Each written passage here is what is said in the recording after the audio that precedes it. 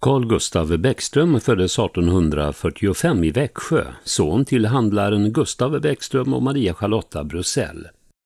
Efter studier i Uppsala blev Carl Gustav kommunister i Alseda och senare i Skede, innan han 1887 valdes till kyrkoherde i Åker. Även om han till att börja med hörde till den högkyrkliga rörelsen ändrade han ståndpunkt när han kom till Åker och blev en uppmärksammad talare även i frikyrkliga missionshus.